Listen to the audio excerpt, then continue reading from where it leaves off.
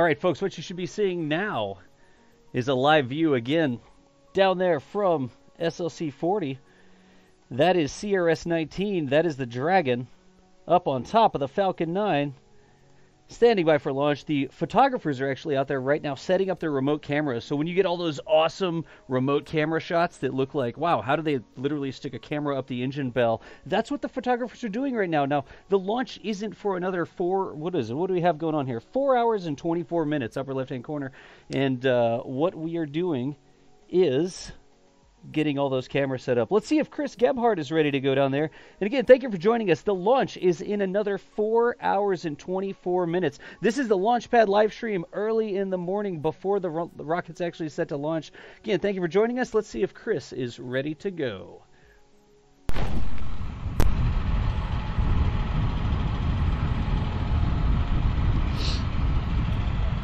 All right, good morning, everyone, and welcome to Launchpad 40 at the Cape Canaveral Air Force Station, where you are looking live at the Falcon 9 rocket as uh, it is getting ready to lift off on the 19th cargo resupply mission for the International Space Station for SpaceX. Uh, before we give you a good up down tour of the rocket, uh, let's talk a little bit about what this mission is doing and how it's just a little bit different than past missions. So, so first and foremost, you will notice that this is a brand new first stage core. Um, NASA had originally intended, uh, per their plan back in May, to have this be a flight proven core and to have it be the first time that NASA would use a core for the third time. But something clearly changed in that process, and they are flying on a brand new Falcon 9 first stage.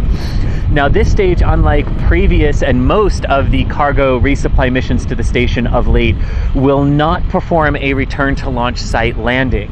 Uh, SpaceX is testing a prolonged coast of the second stage for over six hours. And in order to get that second stage into the orbit it needs to be in after the rocket drops Dragon off, uh, they need to burn the first stage a, a bit longer, about uh, 15 seconds longer than normal, and that uh, negates the ability to have enough propellant in the Falcon 9 first stage for it to return to launch site for landing. So instead, it will. Whoops, sorry, that was me accidentally bumping the camera. Um, so instead, it will be landing about 185 nautical miles east off the coast of Jacksonville, Florida, instead, and then it will be brought back to Port Canaveral. Uh, this cargo dragon has flown three times, um, and uh, it's the uh, last time this particular one is slated to fly. Uh, this is also the second to last Dragon cargo mission of the CRS 1 round of contracts. Uh, so in quarter three of next year, they will transition to the CRS 2 or Cargo Resupply Services 2 contract at which point they will be using the version 2 of Dragon, the same version that will be used to launch crew from neighboring Pad 39A, uh, just with no seats and without any display consoles and optimized for cargo. So that's a little rundown on this mission. The Dragon is slated to remain at the International Space Station for about a month. Right now, they plan to unberth it um, around the 6th of January, though that precise date will be determined as they get into the mission and once they are up at the station. Uh, it is also the uh, first mission, if all the launches go as planned, the first of two missions that will arrive at the station within 48 hours of each other, the other being a Russian Progress resupply vehicle, which is slated to launch uh, early in the morning on December 6th Eastern Time. So, um, let's go ahead and get a good view of the rocket and we'll do a good tour of the rocket here and then I will take your questions. So if you've got questions, guys, go ahead and put them up in the chat here um, on the YouTube live stream and we will go through and we will answer as many of those as possible uh, before we have to leave the pad, which NASA will tell us and give us some warning of. So let us begin let us begin at the top of the rocket, shall we? Let's start with good old Dragon. We like Dragon, right? Yeah, we like Dragon. So here you can see the Dragon spacecraft up top with its nose cone and um, and launch shroud around it that will all be jettisoned once it reaches orbit.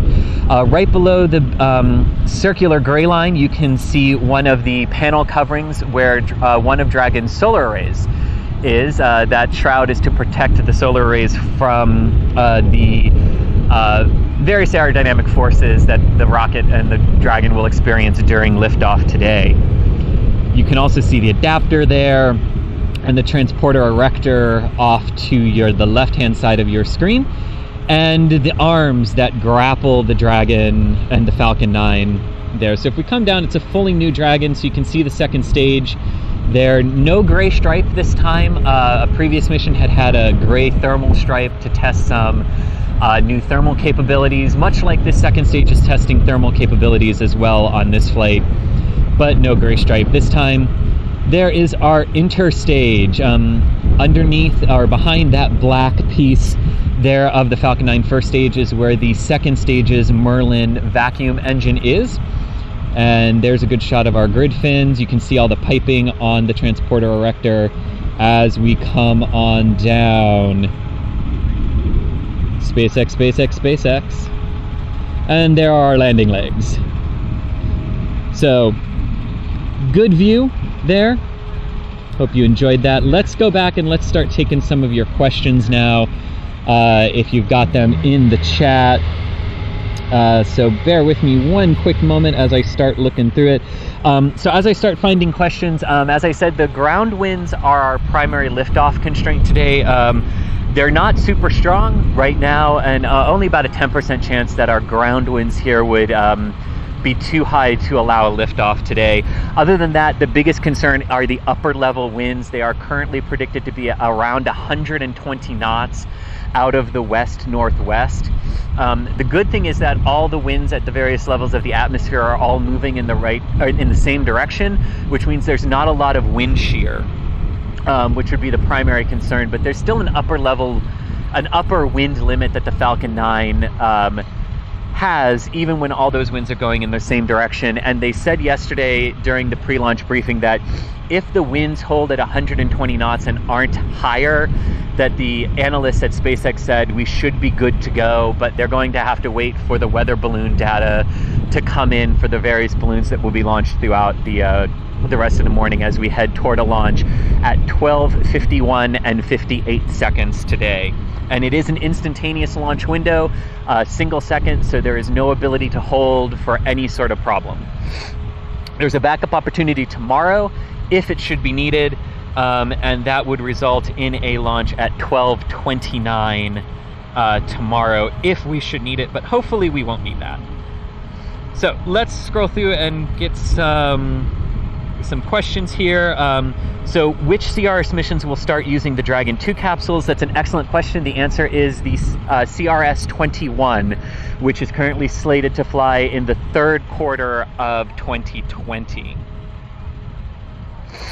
So, yeah, so actually, what we're here right now, we're here for remote camera setup. Um, I can't swivel the camera to show you because that would show other launch pads, and we're not allowed to show uh, other launch pads here as part of our rule, but there are photographers and videographers all around me setting up their equipment uh, to bring you some wicked awesome photos of the launch. Um, we also have for NASA Spaceflight, we have Brady Kenniston, who is actually at the astronaut beach house setting up a remote video camera there. So we should be able to give you a, a pretty good variety of video for this launch uh, later today. Uh, launches at 12:51 and 58 seconds today uh, with a backup opportunity tomorrow. Uh, guys, if you got questions, throw them up here. If you uh, if you've got them, um, I'm not really seeing a lot of questions here. Um, oh, the host. Uh, so yes, I kind of forgot that. Uh, so uh, Chris Gebhardt, uh, I am here as your host today for this pad tour, uh, and I will also be back with you at 11:50 a.m. Eastern time uh, for our launch live cast and webcast that will begin an hour before our targeted liftoff. Uh, the noise you are hearing is actually the bus um, that brought us all here. Um, it's it's a rather noisy bus. Um, so you know you got some stuff. Uh, it's great to see all of you joining us from around the world. We're excited to be here and we're excited to bring it to you. Um, so, like I said, guys, if you've got some, if you got questions, throw them up here. Um, so we do have a question of how many times can the Falcon 9s be reflown? Um, each booster can be reflown up to 100 times. Uh, the current plan is they will fly 10 times, and then uh, they'll really go in and look at them to make sure they can. Um, uh, that that they're still good to go and continue flying. They'll get a bit more refurbishment than they get uh, in the more rapid turnarounds between flights. But um, yeah, e- each booster 10 flights before an inspection and up to 100 according to Elon Musk. Um, so that is that. And this is an East Coast launch. It's launching from Cape Canaveral Air Force Station, Pad 40.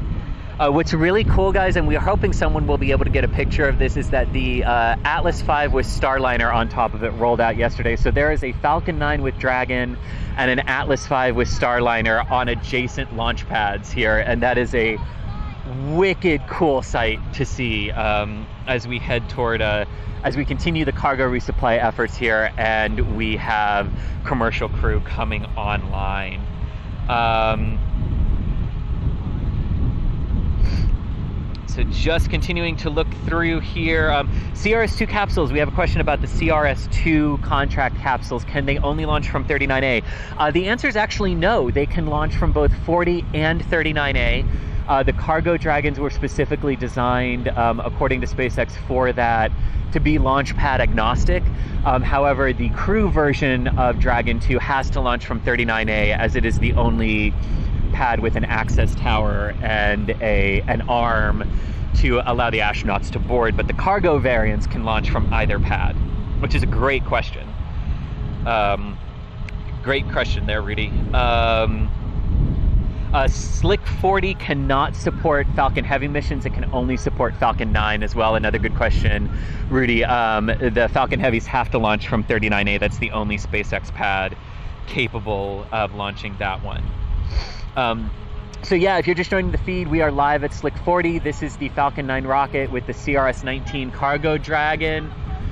Um, that is uh, slated to launch here at 12:51 Eastern.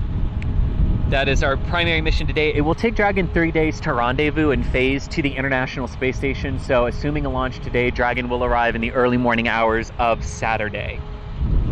Um, so, we have a question here um, about what do you mean about thermal testing for the second stage? Is it for the engine or for the stage as a whole, just coasting for longer? So, yeah, that's a great question. So, the thermal test they're really looking at is how well um, the propellant uh, stays in the tank for prolonged coast periods of up to six hours. Those six hour coasts are needed for future customers where you're talking about more direct. Um, uh, long coast missions where you then have to fire the engine to get into higher Earth orbits than low Earth orbit. Um, so they're continuing to test that and show agencies like the Air Force and the US government exactly what the Falcon's second stage is capable of doing in terms of those prolonged coasts and keeping the propellant stable and at good temperatures for the reignition of that second stage after several hours in orbit. Um, do the solar array covers become space debris? That's an excellent question. Um, the solar array covers are actually jettisoned during the launch phase after Falcon 9 has climbed out of the lower, the dense lower atmosphere and is actually in space. Um, so they are not orbital when they are jettisoned, so they just come back in and are either torn up by aerodynamic forces or um, splash down destructively in the ocean. So they do not become space debris. Excellent, excellent question there um, from Pascal.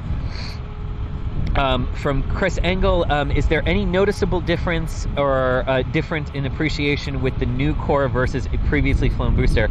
Um, the only thing that's really noticeable is just its color. It's a pristine white, um, and that's really the only difference. Um, they keep the engines, the landing legs, the grid fins. Um, are, are all reusable, so the only appreciable difference is that is that it, they just don't bother to wipe the soot off and clean them as they are reused.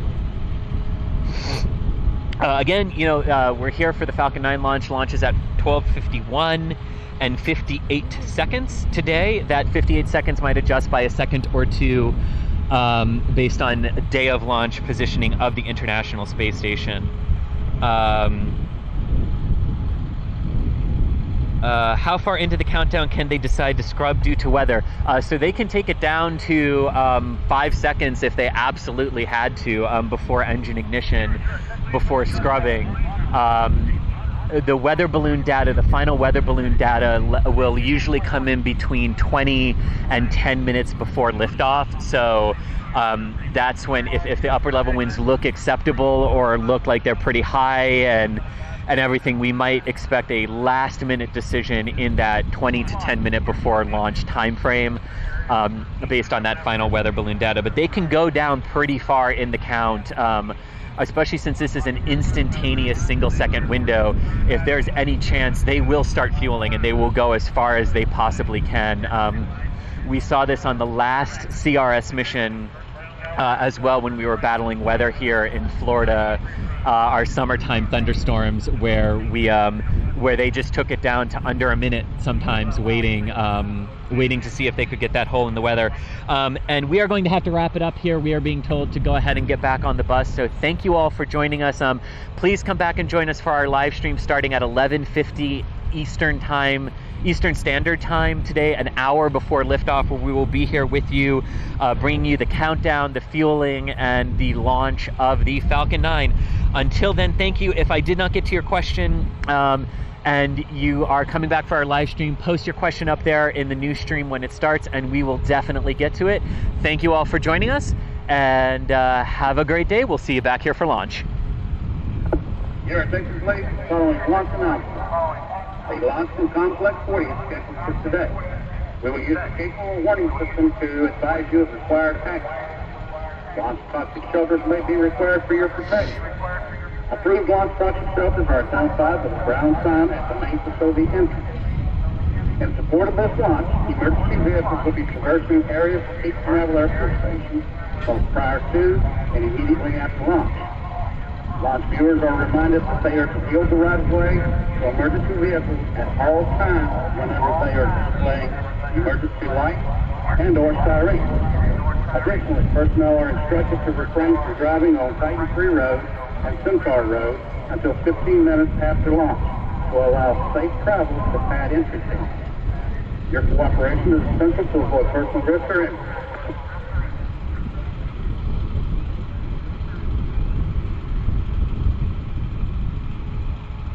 All right, folks. Again, that was Chris Gebhardt live from Cape Canaveral.